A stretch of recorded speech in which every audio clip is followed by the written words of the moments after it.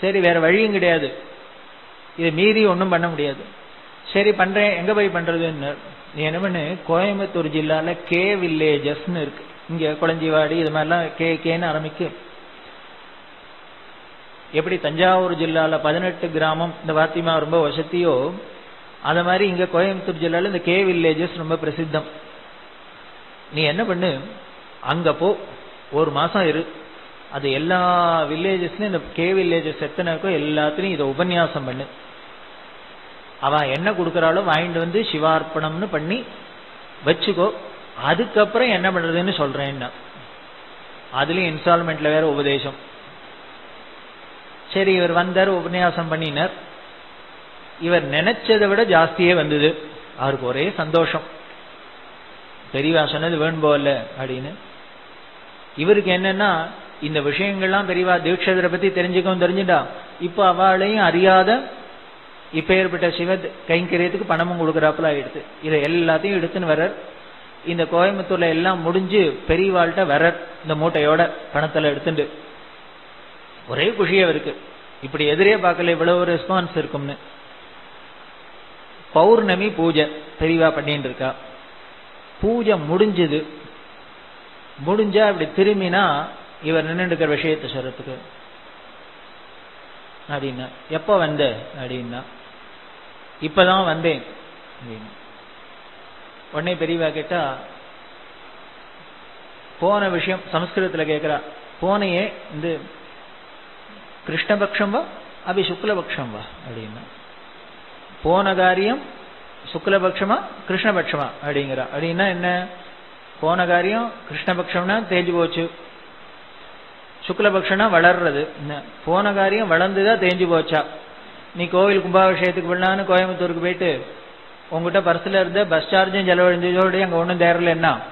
அது கிருஷ்ணபட்சம் நிறைய வந்ததுன்னா சுக்லபட்சம் அதனால சுக்லபக்ஷமா அது கிருஷ்ணபட்சம் அப்படின்னா. இவருக்கு அவர் இப்படி கேட்டாக்க அவரோடைய கொஞ்சமான வழியின இவருக்கு தெரியாதா? இவர் தீட்சகர் பரம்பரையாச்சு. இவர் உடனே பதிலடி கொடுத்தார். மகான் அனுகிரகம் நித்திய பௌர்ணமின்னர் இங்க தேயறதே கிடையாது வளர்றதும் கிடையாது. இது எப்பவும் பூர்ணச்சந்திரன் தான். அதனால பெரியவா அனுகிரகத்துல நித்திய பௌர்ணமியா இருக்கு. அப்படின்னு தீஷர் இன்னும் சொல்லுவது அந்த ரசனைன்னா பெரியவாளை விட ரசிக்க முடியாது அப்படின்னு. நம்ம இப்படி அசட்டு பிசட்டுன்னு உளறினா கூட உடனே திரும்பினா. எங்க எங்க? திருப்பி இன்னொரு தினம் சொல்லும் அப்படின்னா. பெரியவா அனுகிரகத்துல நித்திய பௌர்ணமியா இருக்கணும் சபாஷ் அப்படின்னா எங்க அப்படின்னா இவர் மூட்டையை வச்சார். இதான் கலெக்ஷன் மூட்டையை வச்சார். இதை வச்சோடனே என்ன பண்ணோம்? சந்தோஷமா இருக்குடா. எடுத்துன்னு போய் கும்பாபிஷேகத்துக்கு ஆரம்பின்னா சொல்லணும்? உடனே கேட்கிறா இதான் சம்பாவனை வந்துதா? ஆமான்னர். இதை என்ன பண்ண போறேன்னா அதான் தெரியவா உடனே அப்படி பல்ச படிப்பா. காரணம் என்னன்னு நீ போறதுக்கு முன்னால எல்லாத்தையும் வர்றதெல்லாம் கொடுத்துடுறேன்னு சொல்லலாம். ஆனா நீ எதிர்பார்க்கறதுக்கு மேல வந்திருக்கு. இப்ப பணத்தை பார்த்தோன்னா உன் மைண்ட் எப்படி இருக்குன்னு ரீட் பண்ற. அதனால இதை என்ன பண்ண போற? இதெல்லாம் தான் பெரியவாழ்கிட்ட முக்கியம். பெரியவா சரித்திரம் பெரியவா சரித்திரம்னா இதெல்லாம் தான் அவர் மகா பெரியவர். எப்படி தெரியுமா? அவ வாழ்க்கை அது என்ன பெரிய சைக்காலஜி தெரியுமா? ஏதோ அன்னைக்கு சொன்னேன் சார் நாமளா இருந்தா என்ன பண்ணுவோம்? நான் நினைச்சிருந்தேன் இருந்தாலும் ஒரு பிப்டி பிப்டி அப்படின்னு ஏதானும் கணக்கு போடுவோம். அதுக்காக இங்க பாக்குறா. இவர் என்ன பண்ணார்? பெரியவா என்ன சொன்னாலோ அப்படின்னர். வா மரியாதை வழிக்கு அப்படின்னு அது அத்தனையும் அப்படியே ஈஸ்வர அர்ப்பணம் கோவிலுக்கு அப்படின்னு க்ஷேமமா இருப்ப போ அப்படின்னு அப்படியே கொண்டு கொடு இதை வச்சுன்னு மூலதனம் ஆரம்பி இதுக்கப்புறம் யாருகிட்டையும் நீ போய் கேட்காத யாரான விஷயம் தெரிஞ்சுன்னு அவளை வந்து கொடுத்தா வாங்கிக்கோ. நீ போய் கேட்கக்கூடாது யாச்சகம் பண்ணக்கூடாது அவளா கொண்டு கொடுத்தா வாங்கிக்கோ. இப்படியே கும்பாபிஷேகம் நடந்தது. இப்ப இது மாதிரி கும்பாபிஷேகம்லாம் அவர் ஒருத்தரால தான் பண்ண முடியும். இப்படி நடக்க. உடனே சொல்றா ரொம்ப சந்தோஷமா இருக்குடா அப்படின்ட்டு உனக்கு என்ன கொடுக்கறதுன்னு தெரியல எனக்கு அப்படின்னா நீ இத்தனை ஒரு கைங்கரியம் பண்ணியதுக்கு உனக்கு கிஃப்ட் கொடுக்கணுமா? உனக்கு என்ன கொடுக்கலாம்? அப்படின்னு. அவர் அழுதர். எனக்கு என்ன கொடுக்கணும்? பெரியவா அப்படி நினைக்கிறாளே அதுவே போரும் ஏதோ அவ சொன்னத்தையும் நாம கேட்டோம். அவளும் மனசு திருப்தி படுறாப்புல ஏதோ நான் வாழ்க்கையில ஒரு தரமான நடந்துட்டேனேங்கிற அந்த திருப்தியே போறோம் என் ஜென்மா கிடைத்தேன் இந்த பெரியவா அனுகிரகமே போறோம் அப்படின்னு. பெரியவா சொன்னா அனுகிரகம் இருக்குடா. இருந்தாலும் நீ இப்படி ஒரு சிவகைங்கரியம் பண்ணியிருக்க உனக்கு ஏதானும் கொடுக்கணும். அப்படின்னா இப்படி தேடினா அந்த விவிதி மடல்ல ஒரு ருத்ராட்சம் இருந்தது ஒத்த ருத்ராட்சம். உடனே கையில அதை வந்தோடனே ஏய் நீ பண்ண சிவகைங்கிறதுக்கு இதாண்டா சரியான பிரைஸ் அப்படின்னா இந்தா வச்சுக்கோ. அப்படின்னா இந்த ஒத்த ருத்ராட்சம் கொடுத்தா கழுத்துல தானே கட்டிப்போம். உடனே சொல்றான் நீ என்ன பண்ணு? அதை ஒரு கயத்துல கொத்து வலது கையில் இப்படி கட்டிக்கோ. அப்படின்னா. தீட்சருக்கு வேடிக்கையா இருந்தது. ஏதோ பிரசாதம் கொடுத்தாரு கழுத்துல தான் புருஷா ருத்ராட்சம் கட்டிப்பா இது என்ன கையில கட்டிக்கணும்? கட்டிக்கோன்ட்ட ஏன் சாமிகளேன்னு கேட்க முடியுமா? சரி பெரியவா சொன்னா சொன்னது. இவர் கட்டியிருந்தார் ஆனா மனசுல மட்டும் நெருடிண்டே இருக்கு. இது ஏன்யா இப்படி கையில போய் கட்டிக்கோன்னு ஸ்பெசிபிக்கா பெரியவா சொன்னாலே சொன்னாலேன்னு இது எத்தனை நாள் நெரடித்து இருபது வருஷம் நெரடித்து. இருபது வருஷம் வரைக்கும் புரியல. எதுக்காக இந்த ருத்ராட்சத்தை கொடுத்துட்டு வலது கையில கட்டிக்கோ நானு. இருபது வருஷம் பூர்த்தியானா ஒரு நாளைக்கு இவர் உத்தியோகமா இருக்கார் நேன்லயா பாரிஸ்ல ஸ்கூல் உத்தியோகத்துல இருக்கார். வெள்ளிவாக்கத்துல வீடு. இவர் சாயந்தரம் ஒரு நாளைக்கு ஸ்கூல்ல முடிச்சுட்டு இந்த பாரிஸ்ல இருந்து போற வெள்ளிவாக்கம் போற பஸ்ல ஏறி உட்கார்ந்து இருக்கார். வண்டி கிளம்பணும். இவர் ஸ்கூல்ல இந்த வேலையில பார்த்ததுனால கொஞ்சம் டயர்டா இருந்தது. இந்த ஜன்னல் ஓரமா இப்படி கையை வச்சுட்டு உட்கார்ந்தவர் பஸ் கிளம்பிட்டு தூங்கி போயிட்டார். தூக்கத்துல திடீர்னு முழிச்சு பார்த்தா ஆஸ்பத்திரியில இன்டென்சிவ் கேர்ல இருக்க. பிரஜை எடுத்து என்னன்னா இவர் இப்படி கையை வச்சுட்டு உட்காந்து போயிட்டு இருக்கார் இல்லையா? அந்த பஸ் போறதே எய்த்தாப்புல குறுக்க ஏதோ ஒரு இடத்துல இருந்து ரோட்ல ஒரு லாரி வேகமா வந்தது. இந்த பஸ் மேல நேர மோதிட்டு. எங்க மோதித்துன்னா எந்த சீட்டு கிட்ட இந்த தீட்சிதர் உட்காந்துருக்காரோ அங்க வந்து மோதித்து முதல்ல கை அவ்வளவுதான் ஜாம். இவர் என்ன வாக வேற இப்படி வச்சுன்னு வெளியில உட்காந்துக்கிற நேர கையில அடிச்சு. கை பிராக்சர் அந்த இடிச்ச ஷாக்கிலேயே இவருக்கு பிரஜம் எடுத்து உடனே எல்லாருக்கும் அடிபட்டு எடுத்துன்னு ஆஸ்பத்திரியில போய் இங்க இருக்கார். டாக்டர்ஸ் எல்லாம் பார்த்தா அநேகமா வலது கை சான்ஸ் இல்ல தேர்றதுக்கு. அப்படி இப்படின்லாம் சொன்னா எல்லாரும் வீட்டுல அழறா இவர் வலது கை எடுத்துனா இவர் எப்படி இருக்கிறது? அப்படி இப்படிலாம் கவலைப்பட்டு இருக்கிறது டாக்டர்ஸ் எல்லாம் கை சொன்னது. அப்புறம் ஒரு வாரம் கழிச்சு ஒரு மாசம் கழிச்சு படிப்படியா டெவலப் ஆகி பழையபடி கை வந்துருத்தும் இன்னைக்கும் அந்த கையில அவர் ருத்ராட்சம் கட்டிட்டு தான் இருக்கு. வேடிக்கை என்ன அப்படி மோதி உள்ளுக்குள்ள எலும்பெல்லாம் பிராக்சர் ஆயிருக்கு. இந்த ருத்ராட்சம் மட்டும் ஒன்றும் ஆகல உடையல. இன்னமும் கையில கட்டின்னு இருக்கார். தொண்ணூறு வயசுக்கு இங்க இருந்து மடத்துல காமகோடி பீடத்துல ஸ்ரீமுகம் வேணும்னா புதுப்பிரிவா என்ன பண்றாரு தீட்சரை கூப்பிட்டு எழுதி தர சொல்லுங்கிறா இன்னமும் எழுதின்னு இருக்கார் ஜம்மனு மணிமணியா ஸ்ரீமுகம் எழுதின்னு உட்காந்து இருக்கார் மடத்துல உட்காந்து இன்னைக்கு புரிஞ்சுது. அந்த சிவகைங்கரியம் பண்ணின கை இல்லாத இருந்தாக்க காலகண்டீஸ்வருக்குன்னா அவமானம். அதை ப்ரொடெக்ட் பண்றதுக்காக தான் ருத்ராட்சத்தை கொடுத்தவா? நீ எங்க கழுத்துல தான் போட்டுக்கோ தள்ள தான் வச்சுக்கோ ஏதோ சொல்லாத. வலது கையில கட்டிக்கோனதுக்கு வேற ஒன்றும் இல்லை. அதாவது என்ன பண்ணா சிலதெல்லாம் ஆபத்து வரப்போறதுன்னா முன்னாலே பெயில் எடுக்கிறோம். ஆன்டிசிபேட்டரி பெயில் அது மாதிரி அனுகிரகத்திலே ஆன்டிசிபேட்டரி அனுகிரகம். எப்போ ஏதோ ஆபத்து வரப்போறதுக்கு முன்னாலே அனுகிரகம். அதான் பெரியவன். தீட்சிதர் சொல்லி சொல்லி ஆச்சரியப்படுற. இப்படி ஒரு கிருப்பையை இப்படி ஒரு அனுகிரகத்தை உலகத்துல நாம பூதோ நம்ம பவிஷ்யதி முன்னாலேயும் கழிவுபட்டதில்லை இனிமேயும் கழிவுப்படுமா தெரியாது. அப்படி ஒரு அனுகிரகம். அப்படி பண்ற பெரியவா இவ உட்காந்து அனுஷ்டானம் பண்ணிட்டு இருக்கா ஒரு பையன் வந்தா அழுதுண்டு. தரிசனம் பண்ண அப்படின்னா பெரியவா பார்த்தா யாரு? எதுக்கு அழற? இல்ல எனக்கு இருக்கிறதுக்கு பிடிக்கல. அதனால தற்கொலை பண்ணிக்கலாமான்னு தோன்றதுன்னா. பெரியவாயிட்டா அதுக்கு எதுக்கு இங்க வந்தேன்னா? நான் என்ன பண்ணும்? உடனே இல்ல பெரியவா அனுகிரகம் பண்ணுவேன் எதுக்கு தற்கொலைக்கா? என்ன அதுக்கு ஒண்ணுக்கு தான் நான் அனுகிரகம் பண்ணல? நான் என்ன பண்ணணும்? அப்படின்னா இல்ல எனக்கு மனசு ஒடிஞ்சு போச்சு என்ன பண்றதுன்னு தெரியல.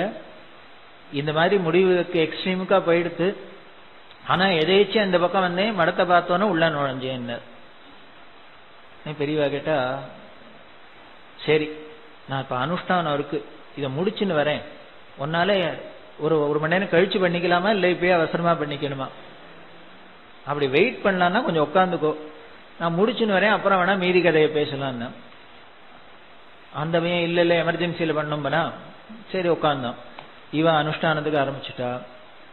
அந்த பையனையே பார்த்துட்டு இருக்கா அனுஷ்டானம் முடிஞ்சது. இந்த முடியிற சமயத்துக்கு தரிசனத்துக்கு அதுக்குள்ள வரா போறா வரலாம் தரிசனம்னுக்கா போயின்னு இருக்கா அந்த எண்டு முடியிற சமயத்துல ஒருத்தர் மெட்ராஸ்ல இருந்து வந்தார்.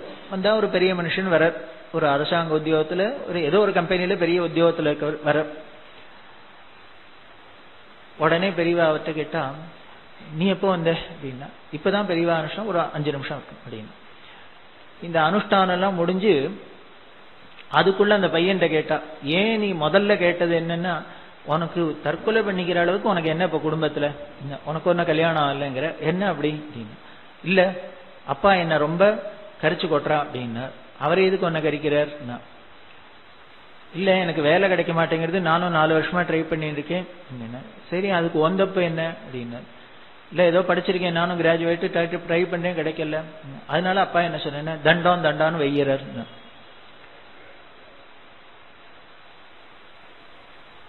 தண்ட சோறு தண்டம் தண்டான்னு திட்டுறாரு அப்படின்னு. அதனால இவனுக்கு இந்த குழந்தையோலிய பாவம் வயசு வந்த குழந்தை அது ரோசமா இருக்கு என்ன இப்படி அப்பாவுக்கு பாரமா இருக்கணும் அப்படின்னு இதுக்கு வேண்டவே வேண்டாம் முடிச்சுக்கிறதுங்க தீர்மானத்துக்கு வந்திருக்கான் போல அதை முதல்ல கேட்டு வச்சுட்டு அப்புறம் அனுஷ்டானத்துக்கு உட்காந்துருக்கான் இப்போ தண்ட தர்ப்பணம் பண்ணிட்டு அதை தூக்கி வைக்க போறா. அப்படி கையில தண்டத்தை எடுத்துட்டே கிட்டே அவர் வந்துட்டார். வந்தா அவர்கிட்ட கேட்டா நீ எப்போ வந்த? இப்பதானே வந்த? ஆமா இது எனக்கு நான் ஒன்று சொன்ன ஒரு காரியம் சொன்னா செய்வியோ நீ? அப்படின்னு அவர் சொன்ன என்ன அப்படி பெரியவா கேட்கிற ஆர்டர் பண்ணும். என்ன பண்ணும்? அப்படின்னு இல்ல ஒரு தண்டத்துக்கு வேலை கொடுப்பியோ? அப்படின்னா. அவர் பார்த்துரு கையில வேலை தண்டம் இருக்கு. தண்டத்துக்கு என்ன வேலை கொடுக்கறது? அவர் புரியுறாப்புல சொன்னா என்னால முடிஞ்சா பண்றேன்னு. எனக்கு என்னன்னு புரியல. புரியிறாப்புல சொன்னா முடிஞ்சா ட்ரை பண்றேன்னு. உடனே பெரியவா சிரிச்சுட்டே சொல்றா அந்த பையன்கிட்ட உனக்கு தெரியுமோ? இவனுக்கு அப்பா தண்டம்னு பேர் வச்சிருக்கார் அப்படின்னு. அப்பா அப்படிதான் கூப்பிடுறாராம். அப்படின்ட்டு அந்த பையன்கிட்ட சொன்னா என்கிட்ட சொன்ன பாரு இந்த கதையெல்லாம் அந்த மாமாட்ட சொல்லு அப்படின்னு. உடனே அந்த பையன் கதையெல்லாம் சொன்னான். அவர் கேட்டுட்டார் உடனே பெரியவாள்கிட்ட சொன்னார் நான் என்ன பண்ணும்னார் இதுக்கு மேல என்ன பண்ணணும்? அதனால அவன் நாலு வருஷமா வேலை தேடின்னு இருக்கான் ஏதோ படிச்சிருக்கான் கிடைக்கல. அதனால குடும்பத்துல சிரமமா இருக்கு. இது இந்த குழந்தை இப்படி மனசு பாதிச்சு கொடுத்து அதனால நீ ஏதானும் ஆபீஸ்ல எங்கேயானும் ஒரு இடத்துல இந்த குழந்தைய உட்காத்தி வச்சீங்கன்னா அந்த குழந்தையும் ஆயுசோட இருக்கும். அந்த குடும்பமும் க்ஷேமா இருக்கும். அதுக்காக கேட்டேன் அவனுக்கு ஒரு வேலை போட்டு தெரியும் அவர் கண்ணால தண்ணி வந்தது. போட்டு தரல. இப்ப கையோட அழிச்சுன்னு போய் சீட்ல உட்காந்து வைக்கிறேன். இந்த குழந்தைய பத்தி பெரியவா கவலைப்பட வேண்டாம் நான் பார்த்துக்கிறேன் அப்படின்னு. அவ்வளவுதாங்கிற அப்ப வேலை கிடைச்சு கொடுத்து அப்படின்னாரு. கிடைச்சு கொடுத்துல நேர சீட்ல தான் கொண்டு உட்காந்துக்கணும் உடனே பெரியவா சொல்றா இது போடாப்பா இந்த மாமாவோட போ. அப்படின்னா அவர் பார்த்து பெருணுமே ஒண்ணு அப்படின்ட்டு இவ தண்டத்தை ஒரு தண்டத்துக்கு வேலை கிடைச்சி கொடுத்து ஒரு தண்டத்துக்கு வேலை ஆயிடுத்து. ஏன்னா இவருக்கு அனுஷ்டானம் முடிஞ்சு கொடுத்தான் இது செவத்துல சக்கம் காமதேனு கல்பவருஷம் அப்படி எல்லாம் கேள்விப்பட்டிருக்கோம் இல்லையா? நமதாம் கல்ப விரக்ஷாய பஜதாம் காமதேனுமே. இப்படிலாம் சொல்றாளே. அதுதான் பெரியவா. வேடிக்கையை பாருங்கோ. அப்படி விரக்தியில போய் என்ன பண்றதுன்னு தெரியாத உசுர பிராணத்தியாகம் பண்ணலாம்னு நினைச்சு இந்த ஒரு ஜீவனுக்கு இது காஞ்சிபுரம் போகணும் பெரியவாளை பார்க்கணும்னு சங்கல்பம் எல்லாம் இல்ல. ஏதோ நடந்து போறத இதை பார்த்தோன்னு உள்ள வந்தான். இப்ப என்ன ஆயிடுத்துன்னு காமதேனு கல்ப விருட்சம் இதுக்கு என்ன வேணுமோ அதை கொடுக்கறது.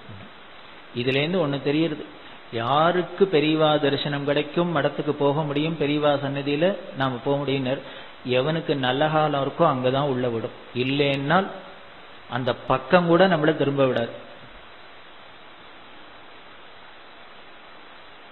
அப்படி கருணை. இவ பூஜை பண்ணிட்டு இருக்கா? பெரியவா அலங்காரம் பண்ணி பூஜை பண்ணா அப்படி அபூர்வமா இருக்கும். அதுல ஒருத்தர் வந்து வந்து பாக்குறவர் அவருக்கு ஒரு ஆசை. பெரியவா கையாலே இப்படி அலங்காரம் பண்ணிங்கிறா. நம்ம கையால பூ வாங்கி தொடுத்து பெரியவா கையால சந்திரமௌலீஸ்வருக்கு சாத்தி அதை பார்த்து ஆனந்தப்படணும். அப்படின்னு இவர் என்ன பண்ணார்? பூக்கடைக்கு போய் விதவிதமா பூவெல்லாம் வாங்கி இவரே உட்காந்து தொடுத்து எடுத்து கொண்டு வந்தார். ஒரு வெள்ளிக்கிழமை கொண்டுறார் பெரியவா மேல பூஜைக்கு போயாச்சு. பெரியவாள்கிட்ட கைங்கரியம் எனக்கு கொடுத்து மாமா நானே மெனக்கிட்ட கொண்டு வந்திருக்கேன். இதை பெரியவாள்கிட்ட சேர்த்துருங்கோ. அவ கையால சாத்தணும். அப்படின்னு.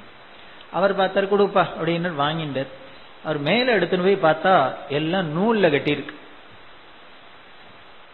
காஞ்சி மடத்தை போல இனிமே ஆச்சார அனுஷ்டானத்துக்கு இனிமே புஸ்தகம் எழுதலாம்.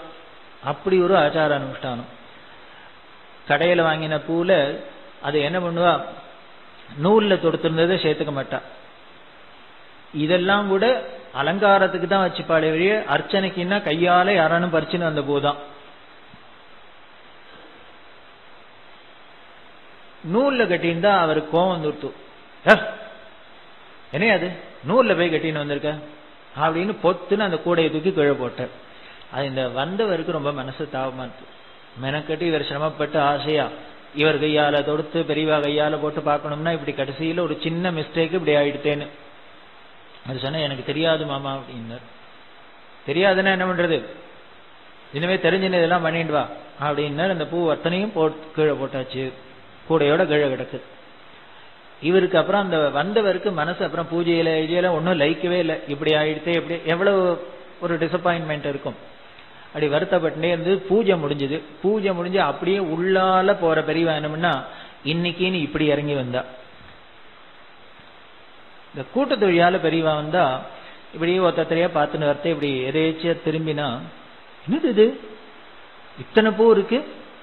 ஏன்னா இதெல்லாம் மேல கொடுக்க மாட்டேங்களோ சுவாமிக்கான சாத்திரிப்பேனே யாரு கொடுத்தா? அப்படின்னு. உடனே அது ஒருக்காரு அவர் தான் கொடுத்தார். அப்படின்னு காமிச்சா பெரியவா அவரை பார்த்துட்டு நீ நான் கொண்டு வந்த. அப்படின்னா உடனே கூட இருக்கிற வாழ்க்கை கேட்டா என்னடாப்பா அவர் கொண்டு வந்திருக்க மேல அனுப்ப மாட்டியோ. அப்படின்னு. அவர் சொன்னார் இல்ல இல்ல அது உபயோகம் இல்லை. அப்படின்னா ஏன்? அப்படின்னா எல்லாம் நூல்ல கட்டி இருக்கு அதை எப்படி மேல சேர்க்கணும்? அப்படின்னு. உடனே அந்த பையன் கேட்டா அப்படியா? உனக்கு சம்பிரதாயம் தெரியாதா? அப்படின்னு எனக்கு இது பெரியவாள்கிட்ட கேட்டோன்னே இன்னும் அழுக வந்துருத்து ஓன்னு அழுத இல்லை எனக்கு தெரியாது நான் நூலில் கட்டின்னு வந்துட்டேன். உடனே பெரியவா சமாதானப்படுத்தினா. மடத்து சம்பிரதாயம் அப்படிப்பா? ஆச்சார அனுஷ்டானா? நான் ஆறுல கட்டியிருந்தா தான் எடுத்துப்போம் நூல்ல கட்டினா சேர்க்கறது. இதெல்லாம் சொன்னா ஓன்னு அழ ஆரம்பிச்சுட்டார். உடனே நம்மனா பெரிய அப்படியே உட்காந்துட்டா கீழே. உட்காந்து யாரு கூட பூவை தூக்கி போட்டாரோ கூப்பிட்டார் ஏண்டா நூல்ல கட்டியிருந்தா மேல சந்திரமொழீஸ்வருக்கு தானே போடப்படாதுன்னார். ஆமா அப்படின்னார். நான் போட்டுக்கலாம் இல்லையோ? என்ன சொல்றது? உடனே சொல்றா எல்லாத்தையும் எடுத்து என் தலையில போட்டு அப்படின்னா அந்த கூட பூவையும் தூக்கி தான் போட்டுண்டா. போட்டுன்னு அந்த பையன் சொல்றா ஏத்துனுட்டேன் அவர் கதறி இருக்கார் கதறி இருக்கார். ஒரு பக்தியில நாம தப்பு பண்ணினா கூட அந்த சன்னதியில அதுவே பேர் அனுகிரகமா ஆயிடுறது தெரியவா சொல்றா? இனிமே அவருக்கு போடணும்னா நார்ல கட்டிண்டு வா. இன்னைக்கு தெரியாத பண்ணிட்ட. நான் அடுத்துனுட்டேன்ப்பா போயிட்டு வா க்ஷேமம். அவர் மனசு எப்படி இருந்திருக்கும் பார்த்துங்கோ. நாம கற்பனையில தான் பார்க்கணும். இதான் அருள். இதுக்கு பேர் தான் அன்புன்னு பேர். நாமளா இருந்தா என்ன பண்ணுவோம்? வெறும் சட்டத்தை பிடிச்சுட்டே எல்லாத்தையும் இருப்போம்.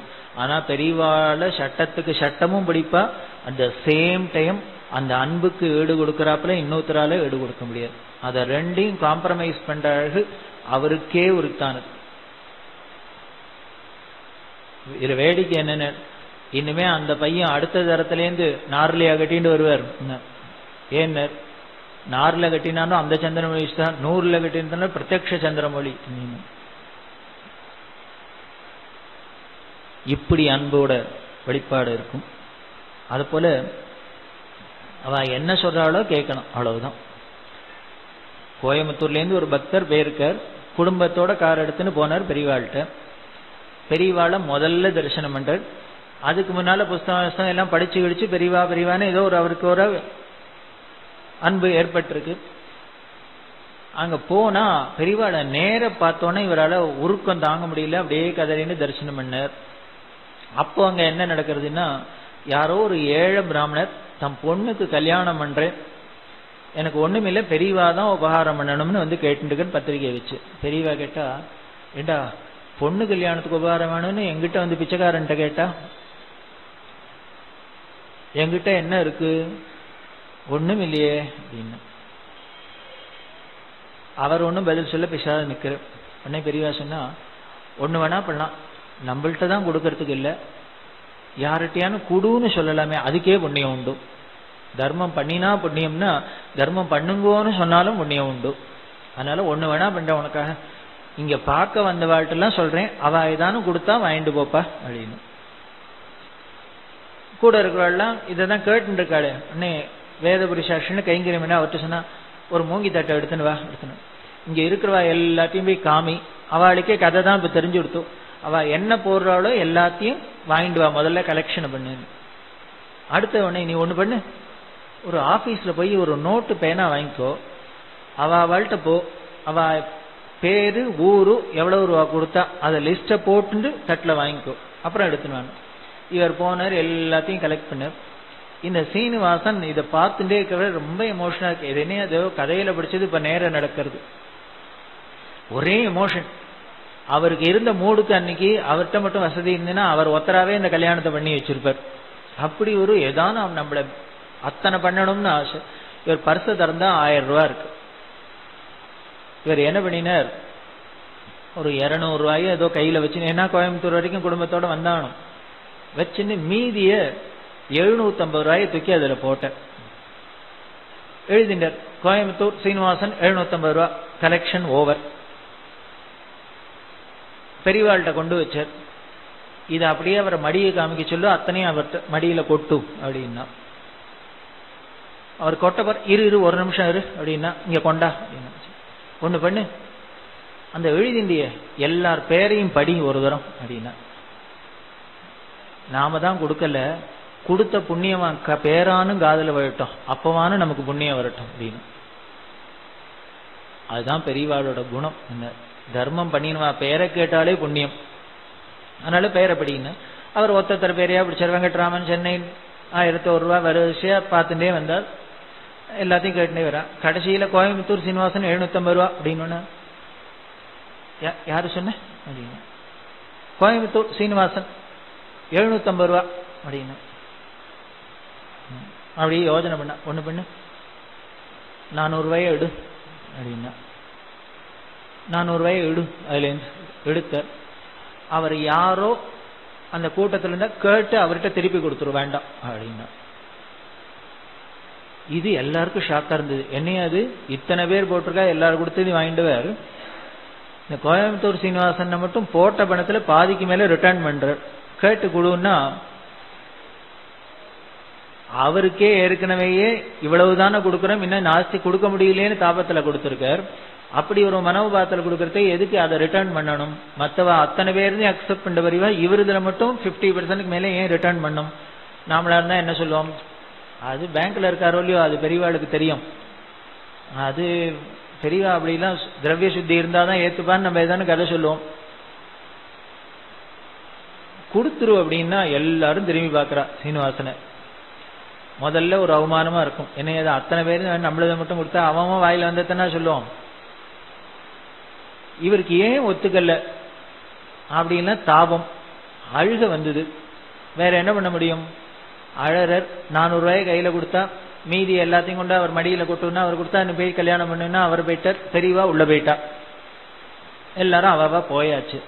ஆனா அந்த சீனிவாசனுக்கு மூட் அவுட் ஆயிடுச்சு. இப்படி ஏன் பெரியவா நம்ம பணத்தை ஏத்துக்கல? பாதிக்கு மேல ரிட்டர்ன் பண்ணிட்டாலே என்ன நம்மள்ட்ட அப்படி தோஷம் இருந்தது? நல்ல எண்ணத்தோட தானே கொடுத்தோம். அப்படி எல்லாம் யோஜனை பண்ணிட்டு வர கூட இருக்கிறவெல்லாம் ஆத்துல ஏதோ சமாதானப்படுத்தினா ஒன்னும் அவருக்கு சமாதானமாகல. வந்தர். காரை நிறுத்தியிருக்கிற வழியில ஏறி எல்லாரையும் உட்கார சொன்னார். இவர் டிரைவ் பண்ணிட்டு வரப்போறார். வண்டியில உட்கார்ந்துட்டு ஸ்டார்ட் பண்ணினா டிர்ரு டிர்ரு டிர்ருங்கிறதுக்கு வண்டி கிளம்ப மாட்டேங்குது. ஏற்கனவே மூட் அவுட் ஆயிருக்கு. இது வேறுபடுத்துறது இங்க குனிஞ்சா அங்க குனிஞ்சா என்னன்னு தெரியல ரிப்பேரா என்ன தெரியல. இவருக்கும் காஞ்சிபுரமும் புதுசு. இந்த கவலை வேற. என்ன பண்ணேன்னு தெரியல. உடனே உள்ளுக்குள்ள வந்தார் மேனேஜர்கிட்ட சொன்னார் மாமா நான் கோயம்புத்தூர்லேருந்து அதுக்கு ஃபேமிலியோட வந்திருக்கேன். வண்டி என்னமோ தகராறு பண்ணுறது கிளம்ப மாட்டேங்குது.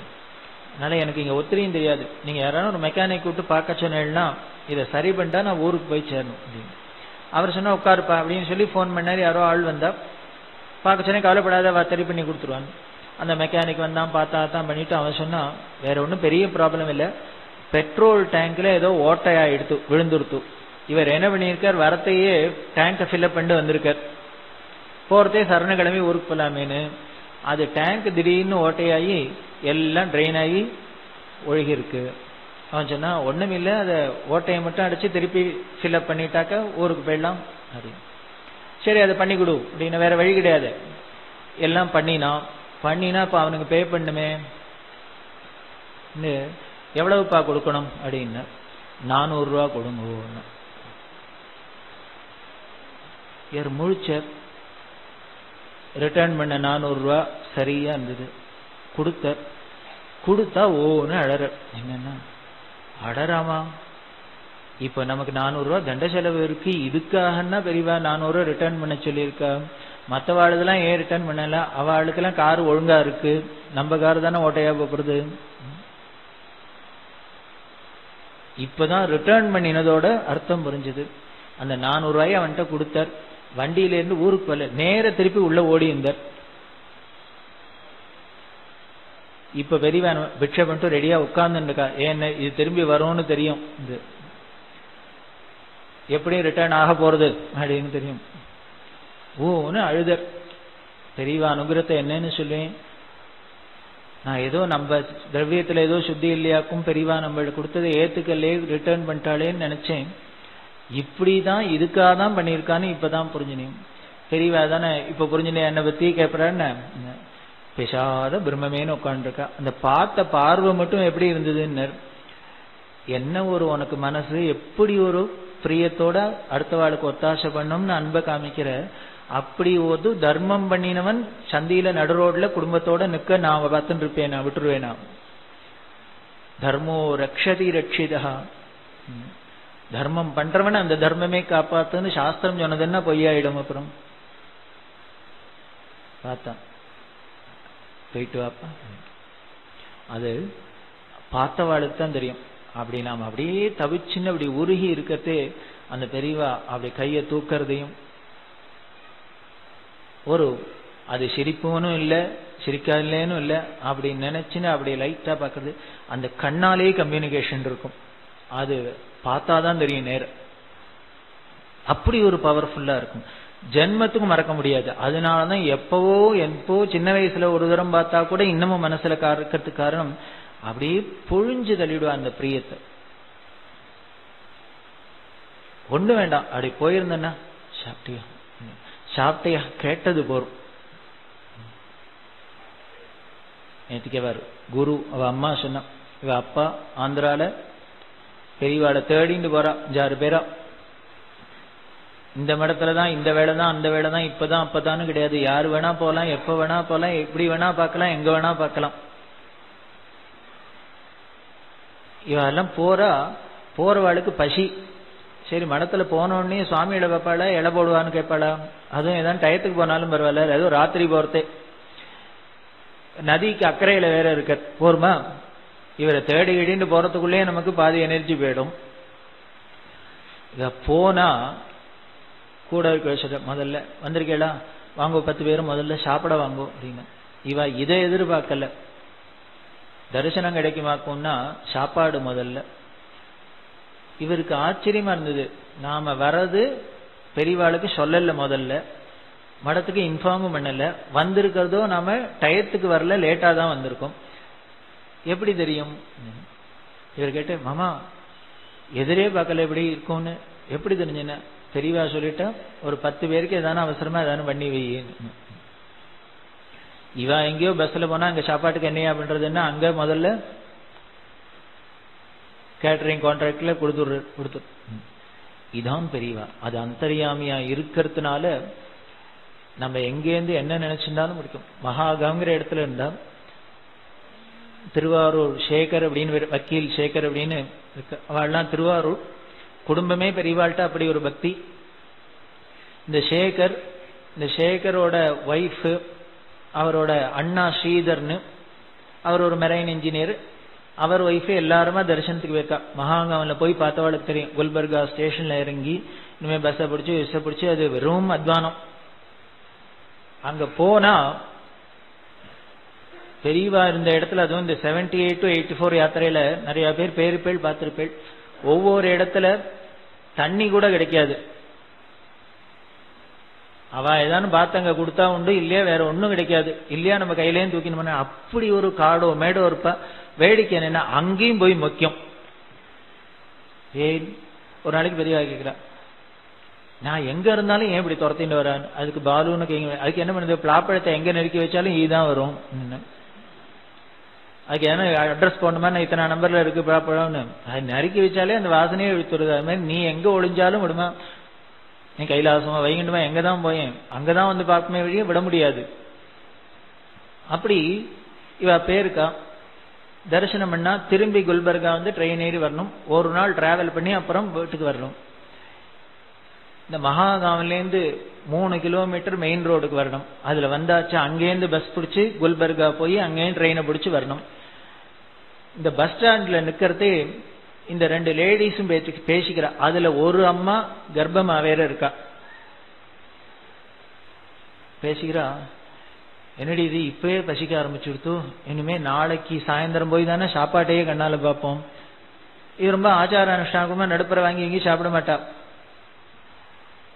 ஒருத்தருக்கு ஒருத்தர் பேசின்னு இருக்கா இந்த அம்மா உடனே சொன்ன அதுக்கு என்ன பண்றது? எல்லாம் பெரியவா தரிசனத்துக்கு வந்தா இப்படிதான் வரணும். எல்லாம் எல்லாம் பொறுத்துனாதான் இங்க வரலாம். அப்படின்னு பேசினா பஸ் வந்து குல்பர்காக்கு போயாச்சு. பிளாட்ஃபார்ம்ல உட்காந்துருக்க ட்ரெயின் வரத்துக்கு ட்ரெயின் வந்துடுத்து இவ ஏற போறதே ஒருத்தர் ஓடி வர. திருவாரூர்காரா எங்க இருக்கா? திருவாரூர்காரா எங்க இருக்கா? அப்படின்னு கத்தின்னு ஓடி வரும். என்ன திடீர்னு இந்த ஸ்டேஷன்ல தமிழ்ல யாரோ பேசுறான்னா பெரியவாளுக்கு பிட்சை பண்ணி ஸ்ரீகண்டன். அவர் ஓடி வர ரக்க பறக்க ஒரு பைய தூக்கிட்டு. திருவாரூர்கார் எங்க இருக்கா அதுன்னு சேகர் ஓடி என்ன என்னமாமா நீங்க எங்க என்ன? ஐயோ நல்ல வேலைடாப்பா. பார்த்தேன் இந்த அப்படி அப்படின்னார். இது என்னது? அப்படின்னார். உப்புமா அப்படின்னு. உப்புமாவா எதுக்கு? அப்படின்னு பெரியவா உத்தரவு. அவ பொம்மநாட்டிகள்லாம் வந்திருக்காளாம். அவளுக்கு இனிமே பசிக்குமா? நாளைக்கு வீட்டுக்கு போய் சாப்பாடு தாப்பறக்கு வரைக்கும் வயிறு தாங்காது. அதனால இம்மிடியட்டா உப்புமா பண்ணி ஸ்டேஷன்ல தான் இருப்பா போய் கொடுத்துட்டு வான்னு என்ன உத்தரவு? இவ அங்கேருந்து கிளம்பி வந்துட்டா இல்லையா? இங்க மகாகாமல்ல வெளியில நின்று ஹைரோஸ்ல நின்று பேசிட்டு இருக்கா இவ ரெண்டு பேரும். என்னடி இது இப்பயே பசிக்கிறது? இனிமே நாளைக்கு தான் போய் ராத்திரி தான் சாப்பிட முடியும்னா அந்த அம்மா என்ன சொன்னா அது என்ன பண்ணுது? பெரியவா தரிசனத்துக்கு வந்தா இதெல்லாம் பொறுத்து அங்க அவ்வளவுதான் காதல விழுந்துருத்து. உடனே ஸ்ரீங்க ஒன்ன பண்ணு இம்மிடியேட்டா ரவா உப்புமா கண்டு. நாலு பொட்டலம் கட்டு. இந்த திருவாரூர்கார வந்தாளா பாரு. அவ இருந்தா போய் கொடுத்துட்டான்.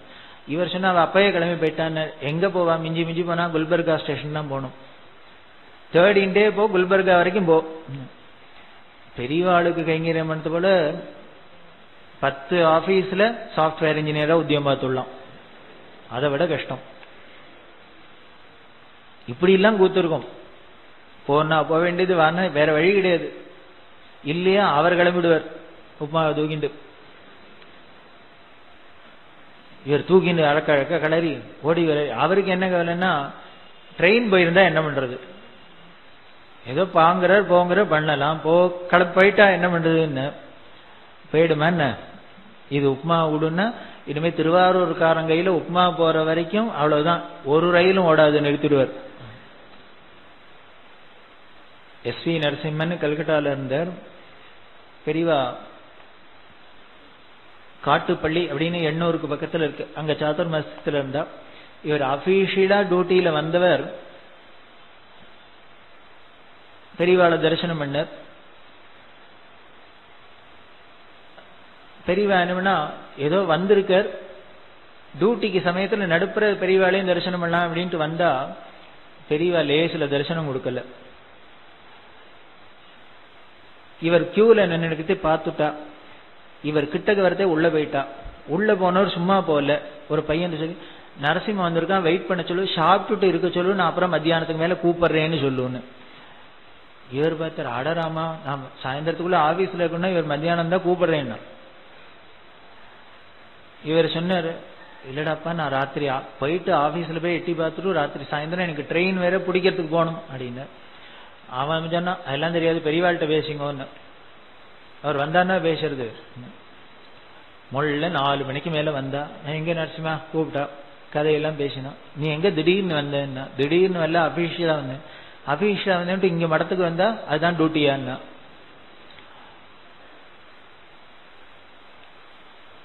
இல்ல போய் எட்டி பார்த்துட்டு போவேன். அப்படின்னு? சரி எப்படி போப்புற? அப்படின்னா? இல்ல இனிமேல் தான் ஏதாவது பஸ் அது ஒரே அத்வானமா தீவா இருக்கும். இப்போ ரோடெல்லாம் யாரோ வந்திருந்தா அவர்கிட்ட சொன்னா இவனை கார்ல அவ கார்ல வந்திருக்க. இவனை அழிச்சுன்னு போ. இவன் ஆபீஸ் போயிட்டு உடனே ட்ரெயினை பிடிக்க போகணுமா? நீ அவனை ஆபீஸுக்கு போயிட்டு ட்ரெயினை ஏத்தி விட்டுட்டு போயிடுன்ட்டா. இவர் சொன்ன இல்ல இல்ல ட்ரெயின்லாம் போயிடும். நான் ஆபீஸ் போயிட்டு போறதுக்குள்ள ட்ரெயின் போயிடும் அப்படின்னார்.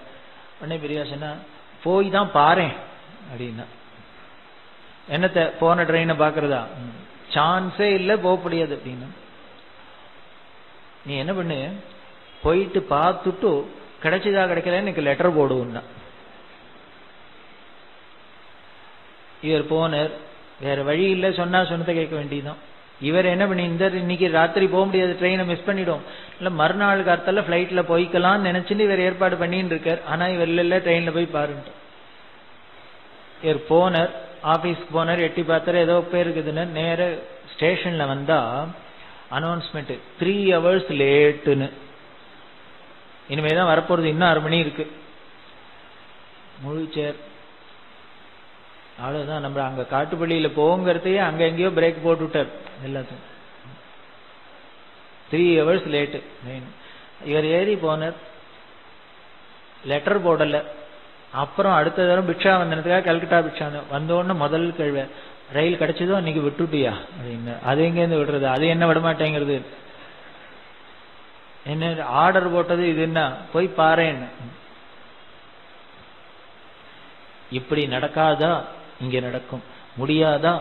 இவற்ற முடியும். இப்படி யாரா இருந்தாலும் எந்த விஷயமா இருந்தாலும் அன்னன்னைக்கு அந்தந்த தேவை என்னவோ அதுதான் கொடுக்கறது தான் பெரியவாளோட அனுகிரகம். அப்படி இருக்கிற பெரியவா எப்படி எல்லாம் ஒவ்வொருத்தருக்கும் என்ன மாதிரி அனுகிரகம் அப்படின்னா ஆச்சரியமா இருக்கும். இவாளுக்கு கர்நாடகாவில் ஒரு இடத்துல இருக்கா. ஒரு ரோடு ஓரமாக ஒரு பழையடைஞ்ச மண்டபம் அதில் இருக்கா கேம்ப்பு எய்த்தாப்புல ஒரு ஓப்பன் ஸ்பேஸ் அதில் அந்த ஜிப்சிஸ் இந்த நரிக்கிறவாள்லாம் கேம்ப் போட்டுன்னு இருக்கா. இதை ரெண்டு மூணு நாளாக பெரியவா பார்த்துட்டே இருக்கா. ஒரு நாளைக்கு யாரோ ஆந்திராலேருந்து ஃபர்ஸ்ட் கிளாஸ் பழம் மாம்பழம்லாம் கொண்டு வந்திருக்கார். ஒரு கூட மாம்பழம் வந்தது. பார்த்தா பார்த்துட்டு ராமகிருஷ்ணன் அப்படின்னு. பிரம்மச்சாரி ராமகிருஷ்ணன் பேர் அவரை கூப்பிட்டா நீ ஒன்று பண்ணு. இந்த மாம்பழத்தெல்லாம் அதோ எய்த்தாப்புல அவள்லாம் இருக்கா பாரு அவளை கொண்டு கொடும் அப்படின்னார். இவர் சொன்ன எதுக்கு? அப்படின்னார். எதுக்கா? திங்கறதுக்கு தான். இல்லை இல்லை அவர் பாவம் மெனக்கிட்டு காஸ்ட்லி பெரியவாளுக்குன்னு வாங்கிட்டு வந்திருக்கார். அப்படின்னார். அவர் வாங்கிட்டு வந்து வச்சார். நான் கொடுக்குறேன் கூட. அப்படின்னார். சரி கொடுக்குறேன். அக்கா கூடையோடையா? அப்படின்னார். அவர் என்னன்னா இருக்கு? அவ எல்லாம் நினைச்சிருக்க ஆளுக்கு ரெண்டுன்னு பிளான் பண்ணா இது கூடையோட அங்க டிரான்ஸ்பர் அக்கா என்ன கூடையோட கொடுக்கறதா? அப்படின்னார். வேற என்ன வந்த பழம் ஏதான் இருக்கா உள்ளன்னா? அப்பப்பதான் வந்துட்டே இருக்க அது ஏதோ உள்ள எல்லாத்தையும் எடுத்துன்னு வரனா அதெல்லாம் போட்டேன். இதையும் சேர்த்து கொடுன்னா. அவர் கொஞ்சம் பாவம் வெகுளி கொஞ்சம் சண்டையெல்லாம் போடுவார். நல்லா இருக்கு இது ஒரு கூடையே ஜாஸ்திங்கிற இன்னும் உள்ள இருக்கிறதையும் வழிச்சு தொடச்சு.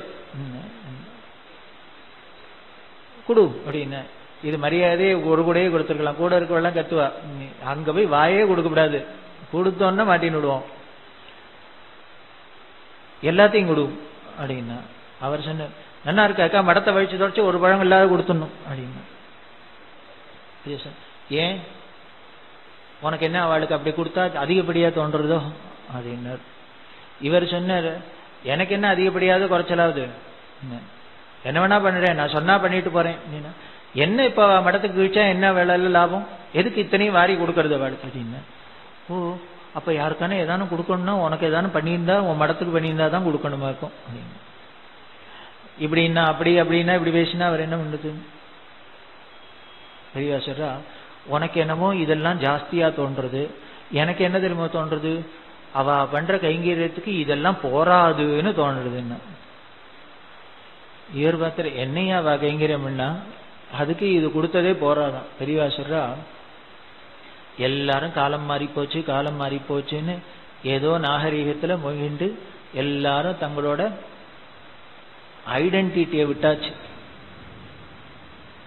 ஒத்தரான அவளோட சம்பிரதாயப்படியோ ஆச்சாரப்படியோ ஒன்றும் இல்லை. எல்லாரும் கேட்டா காலம் மாறி போச்சு காலம் மாறி போச்சுன்னு தங்களை மாத்திண்டு இப்படி எல்லாம் பண்ணிட்டு இருக்கா? அப்படி இருக்கிற உலகத்துல இன்னமும் எப்படி ஆதியிலேருந்து இருந்தாலும் அப்படியே இருக்கா பாரு அவள்லாம் அவ இன்னும் ட்ரெஸ்ல மாறல பேச்சுல மாறல ஒன்னுத்துலயும் மாறல. அப்படியே ட்ரெடிஷன்ல அப்படியே இருக்கா. அதனால எனக்கு என்னமோ நம்மளோட தேசத்தோட பண்பாடு கலாச்சாரம் அதை காப்பாத்துறவா இவாதான்னு தோன்றுது. அதனால இவாளுக்கு அவார்டு கொடுத்தா தேவையில்ல போல இருக்கா. நல்ல வேலை இவர் மினிஸ்டரா வந்தா முதல்ல அவளுக்கு கொடுத்துருப்பார். இவாதான் நம்ம ட்ரெடிஷனை காப்பாத்துறாளாம். மற்ற எத்தனை பேரும் நட கூட பாவனையிலேருந்து எல்லாம் மாறியாச்சு. இவா மட்டும் அப்படியே இருக்கா. அதனால இவா அப்படி அப்படி இந்த வைராக்கியத்தோட இப்படி கலாச்சாரத்தை பாதுகாத்துனுக்கிறதுக்கு இவாளுக்கு இந்த கூட பழம் எல்லாம் போறாது. இன்னும் எத்த கொடுத்தாலும் தேவையில்லைன்னு எனக்கு தோன்றுறது நான் எல்லாரையும் இருங்கோ இருங்கோன்னு சொன்னேன் ஒருத்தரும் கேட்க மாட்டேங்கிறா. நான் அவள்கிட்ட சொல்லல ஆனா கேட்கிறா. அப்படி பண்றா. அதுக்கு மேல சொல்றா நானும் நாலு நாளா பார்த்துருக்கேன் ஒரு சன்னியாசின்னு பேரை வச்சிருந்து எனக்கு பின்னால நாலு பேர் வந்துன்னு எனக்கு சுசுஷ பண்ணிட்டு போற இடத்துல எங்கேயோ ஒரு இடத்துல தங்கிண்டு இத்தனை பண்ணிக்க வேண்டியிருக்கு. ஆனா அவளை பாரு அத்தனை பேரும் ஃபேமிலியோட இருக்கா. எல்லாருக்கும் குழந்தைகள் இருக்கு கணவன் மனைவி நாலு குழந்தைகள் ஒரு குழந்தைய தூளியில தொங்க விட்டுருக்கா அப்படி இருக்கா? இப்படி இருக்கிறவா குடும்பத்தோட இருக்கிறவா ஒரு வீடு இல்ல வாசல் இல்ல ஒரு செக்யூரிட்டி இல்ல நாடோடி மாதிரி இன்னைக்கு ஏதோ இங்க இருக்கா? இப்ப மழை கொட்டித்துனா என்ன பண்ணுவாவா? தெரியாது. அடுத்தது திடீர்னு மழை வந்து கொடுத்துனா அந்த குழந்தைகளை முட்டியில் தூக்கினா எங்க போறோம் அந்த கவலை ஏதானும் படுறாளா? சௌக்கியமா இருக்கா? அவ பாட்டுக்கு ஏதோ வரத்த சாப்பிட்றா சுட சுட. ஒரு ரேடியோ வச்சுன்னு சௌக்கியமா பாட்டு கேட்டுருக்கா என்ன ஆனந்தமா படுத்துட்டு இருக்கா பாரு. பொறாமையா இருக்கடா வாழை பார்த்தா அப்படின்னு. நம்ம இத்தனையும் வச்சுன்னு தூக்கம் வர மாட்டேங்கிறது. ஆனா அவளுக்கு ஒண்ணும் இல்ல ஒரு சௌரியம் இல்ல ஆனா அந்த விசாரமே இல்லாத சௌக்கியமா இருக்கா. அப்படின்னா இருக்க கத்துக்கணும். நமக்கு அந்த கொடுப்பன இல்லையே. அவளுக்கு இருக்கு. இதெல்லாம் சொல்லிட்டு ரிஷிகள்லாம் அப்படிதான்டா இருந்தா அப்படின்னு. நம்ம ரிஷிகள்லாம் அப்படிதான் இருந்திருக்கா. நீங்க நினைச்சு பார்த்தீங்கன்னா ஆச்சரியமா இருக்கும். எந்த ரிஷியான இனிமே பக்லா கட்டினர் வீடு இருந்தது எஸ்டேட் இருந்தது ஒண்ணும் கிடையாது. நீங்க எந்த ஊருக்கு போனாலும் இந்த ஊர்ல அகஸ்தியர் பூஜை பண்ண சுவாமி இருக்கார் அந்த ஊர்ல பரத்வாஜர் பூஜை எப்படி இதனால வருதுன்னு வேற ஒண்ணும் அவளும் நாடோடிகளாவே தான் இருந்திருக்கா. எல்லா ரிஷிகளுக்கும் நூறு குழந்தைகள் இருநூறு குழந்தைகள் ஐம்பது குழந்தைகள் இப்படி எல்லாம் கழிப்பறோம் இத்தனையும் இந்த ரெட்டிண்டு ஒரு சாமான்ல சப்ஜான்ல போற இடத்துல அங்கங்க என்ன இருக்கோ அன்னன்னைக்கு கிருஷ்ணராமா கோவிந்தா காலட்சேபம் பண்ணி இருந்திருக்கா அதனாலேயே அவ நிம்மதியா இருந்தான் அப்படி ரிஷிகள் எப்படி இருந்தாலும் அப்படி இருக்கா? அப்படி இருக்கிற இந்த ட்ரெடிஷனை காப்பாத்துற இவாளுக்கு இந்த பழம் எல்லாம் போறாது. இன்னும் என்ன கொடுத்தாலும் போறாது.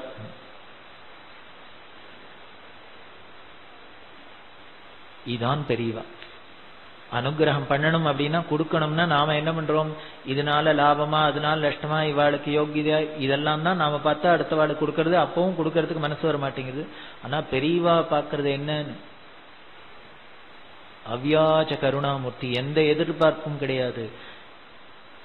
அவள்கிட்ட தர்மம் இருக்கா? அவ எப்படி இருக்கா? இதை பார்த்து அனுகிரகம். அப்படி இல்லைன்னாலும் தான் அனுகிரகம். இப்படி சொல்லக்கூடிய பிரிவா இவ விழுப்புரத்துல இருக்கா? ஒரு அந்த குடும்பத்துல பெரியவாளுக்கு தெரிஞ்ச குடும்பம். அவ வடபழனியில இருக்கிறவா. அதுல ரெண்டு புள்ள அவளுக்கு இந்த அம்மாக்கு. அப்பா போயிட்டார். ரொம்ப பெரியவாழ்கிட்டே இருந்த குடும்பம். இந்த சின்ன பிள்ளை என்ன பண்ணினா என்னமோ தெரியல. அண்ணா பாராயணம் என்ற சுந்தரகாண்டத்துல என்னை தேட வேண்டாம். நான் நிம்மதியை தேடி போகிறேன். அப்படின்னு எழுதி வச்சுட்டு வீட்டை விட்டு போயிட்டார்.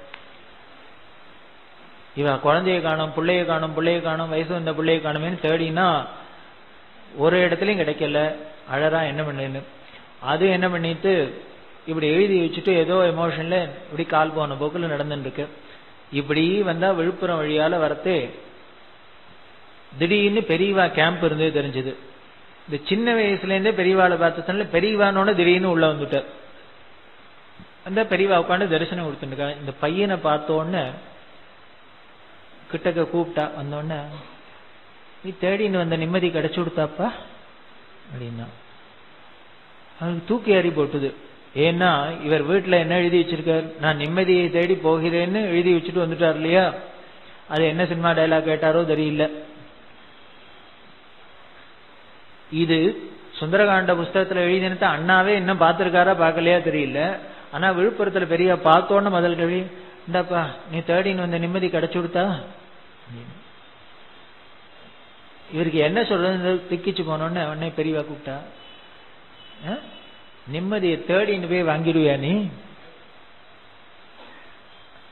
கோச்சுண்டா. சொல்லாத கொள்ளாத வந்துட்டு உங்க அம்மாவும் உங்க அண்ணாவும் அங்க திண்டாடின்னு இருக்கா? தவச்சிண்டு. இவரோட பெரியம்மா அம்மாவோட அக்கா இங்க விழுப்புரத்துல இருக்கா? என்ன பண்ணு? நேர பெரியமாவத்துக்கு போனா அப்புறம் என்ன பண்ணா நீ போக வேண்டாம். வேற எங்கேயானு போயிட்டா என்ன பண்றது இங்கே உட்காருன்னா. ஒரு ஆள் இருந்துச்சா ராஜத்தை போய் அழிச்சுன்னு வரேன் அந்த அம்மா வந்தா. இன்னொன்னு இவன் யாரு தெரியறதுன்னா அவ சொன்ன ஐயோ இவன் எங்க எங்க வந்தான் அவங்க த காணும் காணும் தேடின்னு இருக்கான்னு முதல்ல வீட்டுக்கு எழுத்துன்னு போ. முதல்ல சோறு போடு. வீட்டுக்கு எழுத்துன்னு பெரியவா சொல்றா நிம்மதியை தேடின்னு போய் கிடைக்காது. சந்தோஷத்தை தேடின்னு போய் அடைய முடியாது. உள்ளுக்குள்ள இருக்கு. இந்த நிம்மதி சந்தோஷங்கள் நமக்குள்ள இருக்கு. இருக்கும் இடத்தை விட்டு இல்லாத இடம் தேடி எங்கெங்கோ அலைகின்றார் ஞானத்தன்மை. சித்தர் பாடல்ல பாடுறாரு. இது உள்ளுக்குள்ள எங்க இருக்கோ பிரேமஸ்வரூபமா ஆனந்தோ பிரம்மே திவ்யஜானாது வேதம் சொல்றது இந்த ஆனந்தம் தான் நம்மளோட ஆத்மஸ்வரூபம். அதை வழியில போய் தேடினா எங்கேருந்து கிடைக்கும்? அந்த நிம்மதி எங்க கிடைக்கும்? காட்டுக்கு போனா மட்டும் நிம்மதி வந்துருமா? என்ன அங்கேயும் டென்ஷன் இருந்தா டென்ஷன் பண்ணு தான் இருப்பேன். மரியாதையை வீட்டுக்கு போ. அப்படின்னா அந்த அம்மாட்ட சொன்னா வேடிக்கை என்னன்னா வேற வழி இல்ல அவர் வீட்டுக்கு போனார். அவன் அங்கேருந்து சொன்னா கவலைப்படாத பிள்ளைங்க வந்துட்டான் பெரியவாழ்கிட்ட போனா எதேச்சியா இங்க வந்துட்டான். உடனே அவன் அம்மா அலையில பிடிச்சுன்னு ஓடி வந்தா பிள்ளைய காணுமேன்னு பாக்குறதுக்கு அம்மா வந்தாலும் இல்லையா அடுத்த நாள்ல இருந்து வைசூரி போட்டிருக்கு. நிறவாரமா இவருக்கு அம்மை ஒட்டி இருக்கு பதினஞ்சு நாள் போட்டு புரட்டி எடுத்தது. அதுக்கப்புறம் தலைக்கு தண்ணி விட்டு எல்லாம் பண்ணி நாலு நாள் ஆனோடனே திருப்பி பெரியவாழ்கிட்ட அழிச்சுன்னு இருந்தா இப்ப மரியாதையை ஆத்துக்கு அழிச்சுன்னு போய் வச்சுக்கோ. இப்படி பின்னால பெருசா வரப்போறதுங்கிறதுக்காக தான் பதினஞ்சு நாளைக்காக இப்படி பெரியமாவை கூப்பிட்டு இத்தனை பண்ணினா. இப்படி ஒரு அனுகிரகம். அப்படி நிம்மதியை தேடின்னு போறேன்னு எழுதி வச்சுட்டு வந்த அந்த பையன் இன்னைக்கு எப்படி இருக்காருன்னு செந்தில் துறவின்னு அவருக்கு பேர். இன்னைக்கு பார்த்தா அவர் பெரிய பிரம்மனிஷ்டரா பெரியவாளுக்கு கோவில் கட்டி அப்படி ஒரு தபஸ்வியா இருந்துன்னு அவர் சொல்லுவார் எப்படி எல்லாம் அசடா இருந்தோம் அந்த அசடெல்லாமும் பெரியவா எப்படி எல்லாம் மாத்தி போடுறா அப்படின்னு. ரசவாதம் தான். அப்படி இருக்கிறவர். இவா மயிலாப்பூர்ல கேம்ப்ல இருக்கா. திருச்சியிலேருந்து ஒரு பக்தர் அவருக்கு ஒரு ஹைகோர்ட்ல ஒரு கேஸ் நடந்துருக்கு ரொம்ப நாளா நடந்துருக்கு அந்த கேஸுக்காக வார வாரம் வரணும். வக்கீல் மயிலாப்பூர்ல கபாலி கோவிலுக்கு ஏற்றப்ப அங்க இருக்கிற லாயர் இவர் என்ன பண்ண மயிலாப்பூர்லயே பெரியவா கேம்ப்ல இருந்ததுனால எக்மோர்ல ட்ரெயின்ல இறங்க வேண்டியது நேரம் அங்கேயே குளிக்க வேண்டியது. நேர பெரியவாளை வந்து தரிசனம் பண்ணிட்டு சன்ஸ்கிருத் காலேஜில் நடுத்தருக்கு போய் அப்புறம் வக்கீலோட கோர்ட்டுக்கு போயிட்டு எல்லாம் பண்ணி அப்படியே ராத்திரி ட்ரெயினை பிடிச்சி ஊருக்கு வேண்டி இப்படியே நடந்துருக்கு பல நாட்களா. அவருக்கு ஒரே ஒரு சந்தோஷம். அப்பப்போ அட்ஜானானா என்னென்ன இன்னும் ஒரு தூரம் தரிசனம் பண்ணலாமே பெரியவாளன் அது கேஸ் முடிஞ்சு கொடுத்தனாதான் இவருக்கு மெட்ராஸ் வரத்துக்கு சான்ஸ் இல்லை. இப்படி பல வாரம் பண்ணிட்டே இருக்கிறதே ஒரு வாரம் ட்ரெயின் லேட் ஆயிடுத்து. லேட் ஆனா அவர் பத்து மணிக்கு வக்கீல் போயிடுவார். கோர்ட்டுக்கு போறதுக்குள்ள போகணும். இல்லையா அவர் கோச்சுக்கார் இறங்கி பெரியவாளை தரிசனம் எடுத்துக்கு டைம் இல்லை. ட்ரெயின் லேட்டா இருந்ததுனால குளிச்சுட்டு ஒரு ஆட்டோல நேர போறார் வக்கீல் வீட்டுக்கு. அது சான்ஸ்கிரிட் காலேஜ் வழியால தான் போகணும். அப்படி போறதே இந்த கதவை பார்த்து சான்ஸ்கிரிட் காலேஜ் பார்த்தோன்னே வருத்தமா இருந்தது. அப்படியே அங்கேருந்தே கன்னத்துல போட்டுன்னு அழுதர். தெரியவா இந்த கேஸுனால லாபமோ நஷ்டமோ தெரியாது ஜெயிச்சா. ஆனா உன்னோட தரிசனம் கிடைச்சது. இதுவான்னு நினைச்சதே இதுக்கான அனுகிரகம் பண்ணியே இந்த வாரம் இந்த ட்ரெயின் லேட்னால அதுவும் போயிடுத்து. அதுக்கும் எனக்கு கொடுப்பனே இல்லை அப்படின்னு அழுதுண்டே போனார். அதுக்குள்ள நடுத்தருக்கிட்ட வந்துடுத்து. தெருக்குள்ள போகலான்னா போலீஸ் போப்படா போப்படா இங்கே நிறுத்து ஆட்டோல இறங்கி நடந்து போகணும் அப்படின்னா. இது என்ன கூத்து? சரி இறங்கினா நடந்தா அங்க தெருவுக்குள்ள நுழைஞ்சா ஒரே அமக்களமா இருக்கு. என்னன்னா பெரியவா நடுத்தருல இருக்கா. அங்க இவர் ஏதோ உள்ளுக்குள்ள உட்காந்து பூஜை கேச்சுக்கு உட்காந்துருக்காருன்னா அவர் எங்கேயோ ஒரு சுத்த போயிருக்கார். அதுல இன்னைக்கு நடுத்தரு. இது பார்க்கவே முடியாதுன்னா நம்ம வந்த இடத்துல இது பார்த்தா இவருக்கு ஒரே எமோஷன் விழுந்தடிச்சுன்னு ஓடுறார். பெரியவாட பார்த்துடலாம். இன்னைக்கும் மிஸ் ஆகிடுவோம்னு நினைச்சோம்னா நல்ல வேலை பெரியவா அனுகிரகம்ட்டா தரிசனம் அப்படின்னு. ஆனா அந்த நடுத்தறிலையும் எங்க நின்றுருக்கான் வீடு வீடா பூர்ணகுமம் கொடுக்குறாங்க அங்க விசாரிச்சுன்னு நின்னுக்கா எங்க நிக்கிறன்னா இவ வக்கீல் வீட்டு வாசல்ல நின்றுருக்கா அவர் எங்க போறது? கோர்ட்டுக்கு இவரை விட்டு. அவரையும் போக விடாத அவாத்து வாசல்ல நின்று இவரையும் வர வரைக்கும் இங்கேயே நின்னுண்டு அந்த பையனால ஆச்சரியம் தாங்கவே இல்லை. போடுறவங்க எல்லாம் எடுத்துனா எல்லாம் பண்ண ஏதோ கதை அடிச்சுட்டு அவங்க நின்று இருக்கா இந்த பையன் விழுந்தா எமோஷன்ல விழுந்து நமஸ்காரம் பண்ணான். ஒரு பார்வை. ஏற இறங்க பார்த்தா அதுக்கு என்ன அர்த்தம் எப்படி இருந்தது அவருக்கு? ஒண்ணும் இல்லை. இப்படி வாரம் தவறாத என்ன தேடின்னு வந்து பார்த்திருக்க. ஒரு வாரம் ஒன்னால முடியலன்னு நான் வரமாட்டேனா? பாப்பமாச்சா தீனநாத வாட பக்தாஞ்சி பாகத்த அவங்கத்துல சொல்ற எங்க அப்பன் பாண்டுரங்கன் எதுக்காக அப்படி எட்டி பார்த்து நிக்கிறான்னு யார் வருவான்னு பாக்குறான் நீ என்ன பார்க்கணும்னு அவசியம் இல்லடா. நீ யாரு வருவன்னு கத்த அந்த பாண்டுரங்கன் தானே. அதனால இதான் அன்பு கருணை. நாம பெரியவாளை தேடிட்டு போகணுங்கிறது இல்ல நம்மள பெரியவாளும் தேடிட்டு வருவா. எதவனா நடக்கும். என்ன நமக்கு மட்டும் துளி மனசுல கொஞ்சம் இருந்தா போதும் அப்படி ஒரு கிருபை அப்படி ஒரு அன்பு அப்படி ஒரு கருணை யாருக்கு வீடு வீடா போய் அனுகிரகம் பண்றது? யாரால நடக்கும்? இப்படி எல்லாம் முடிஞ்சது அவர் விழுந்தர் நீ சரி எனக்கு நேரம் ஆச்சு. அப்படின்னா கிடுகிடுன்னு போயிட்டா. இதான் தெரியவா அப்படி ஒரு அன்பு மயமான மூர்த்தி. அப்படி பண்ணியிருக்கிற பெரியவா ஏதோ இவருக்கு தான் பண்ணா அவருக்கு தான் பண்ணினா அப்படின்னு இல்லை. நாயா இருக்கட்டும் நரியா இருக்கட்டும் எதுவா இருக்கட்டும். இவா யாத்திரையில காசி யாத்திரையில ஒரு நாய் கூடவே வந்திருந்தது. அந்த நாய் எப்படி வரும்னு பெரியவா பல்லாக்குக்கு அடியில வரும். பெரியவா ஸ்நானம் பண்ணிட்டு மடியா இருந்தா யானைக்கு நாலு காலுக்கு அடியில போகும். அது எந்த ரிஷி நாயா வந்தாரோ நமக்கு தெரியாது. பெரியவா ரெகுலரா பிக்ஷைக்கு உட்காண்டோன்னு முதல் கழுவ நாய்க்கு சாதம் போட்டாச்சா? இப்படி அந்த நாய் அப்படி இருக்கிற அந்த நாய்க்கு ஒரு நாளைக்கு இந்த உள்ளெல்லாம் வராது. பெரியவா யாத்திரை போனாக்க பல்லாக்கு கடியில வரும். மடியா இருந்தா யானைக்கு அடியில போகும். இல்லையா அப்படி முன்னாலே போயிட்டு இருக்கும். ஆனா எங்க போறாலும் போயிட்டே இருக்கும். வேட்ட வலம் அப்படின்னு நாத்தார் காடுல. அதுகிட்ட வந்துட்டா பெரியவா கும்பகோணத்துல கிளம்பி இதுவும் கூடவே வந்துருக்கு இது கூட இருக்கிறவளுக்கு மனத்துல சித்த இடைஞ்சலா இருந்தது. இது குறுக்க குறுக்க வருதுன்னு. இது எப்படியான இதுனா பெரியவா வேற எடுத்துட்டு ரொம்ப பிரியமா இருந்தா நமக்கு இன்னும் கோவம் வரும். ஏன்னா அது நம்ம சாப்பிட்டாலும் கேட்க மாட்டேங்கிற? நாய்க்கு சாப்பிட்டாரு இது வருமா? இது வரணும். கோபிகைக்கெல்லாம் எப்படி இருந்ததுன்னு ஒவ்வொரு கோபிக்கும் அடுத்தவற்றோட பேசினா இவாளுக்கு தாங்காது. ஏன்னா அந்த பொசசிவ்னஸ் யார்கிட்ட வரணும் ஈஸ்வரன்ட்ட தான் வரணும். நாம என்ன பண்றோம்? மாத்தி வச்சுட்டு உலகத்துல போய் இந்த பொசசிவ் வச்சுக்கோ அவரை விட்டு ஏக்காடு கட்டு போறாருன்னு விட்டுறோம். தலைகீழ பண்ணணும். அது நமக்குன்னு தான் இருக்கு. நம்ம நம்ம பெரியவாய. அப்படி இருக்கும் இல்லையா? அதனால என்ன பண்ண யாரோ வந்து ஒரு பையன் கல்லை எடுத்து அடிச்சுட்டான். அது வள்ளுன்னு போய் அவனை கடிச்சு கொடுத்தோம் இவர் பெரியவாள்கிட்ட போய் அது ஏதோ வெறி பிடிச்சிருத்து போல இருக்கு. இனிமே இது மடத்துல இருந்தேன்னா எல்லாரையும் கடிச்சிடும் அப்படின்னு வேற என்ன பண்ணார்? ஒரு ஆளை வச்சார். அது கண்ணை கட்டினர் துணியை போட்டு. பக்கத்துல ஒரு பெரிய ஃபாரஸ்ட் அது வேட்டவலம் ஃபாரஸ்ட்னு அதுல ஒரு குளம் மாதிரி இருக்கு. அது கிட்ட கொண்டு ஒரு ஜீப்பு மெனக்கிட்ட ஒரு ஜீப்பை வச்சு ரெண்டு ஆளை போட்டு நாய்க்கு இவ்வளவு உபச்சாரம் கண்ணில் கட்டி கொண்டு விட்டு வந்தா இவர் நிம்மதியா பேசின்னு அப்பா இந்த நாய் தொந்தரவு போறியா அப்படின்னு. அப்படின்னு நினைச்சுன்னு இவர் மடத்துக்கு வந்தா வாங்க வாங்கன்னு அது வாசல்ல நிக்கிறது. எப்படி ஓடி இருந்ததுன்னு தெரியல.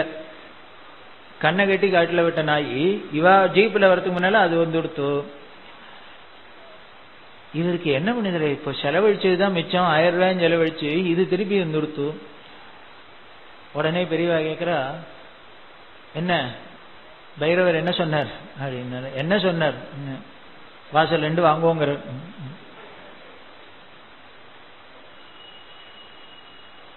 அப்படி என்ன இவரோட பிரியம் அதால நாயால கூட அவாய்ட் பண்ண முடியல. இருந்தது. அப்புறம் அந்த நாய் இன்னும் ஆந்திரால போய் அப்புறம் அது காலமாயி என்னமோ அதுக்கு பெரிய சம்ஸ்காரம் பண்ணி நமக்கு தெரியாது நமக்கு வேணா நாயா இருக்கலாம். அது எந்த வந்ததுன்னு யாருக்கு தெரியும்? சொல்ற தத்தாத்திரேயரை பத்தி சொல்ற ஸ்ருதி ஸ்வானவு ஹோவுனி புட்டையே படத்தி அப்படிங்கிற. வேதம் என்ன பண்ணித்தான் அப்படின்னர்? ஸ்மித ரம்யவதன காஷாய வசனதாரி ஸ்ருதி ஸ்வானரூப ஹோவுனி புட்டையே பலத்தி அப்படிங்கிற. வேதமே நாயா உனக்கு முன்னால போறது அப்படின்னு தத்தாத்திரேயரை பத்தி பார்த்து சொல்ற. அப்படின்னா இவருக்கு முன்னாலே அது போகாதா என்ன?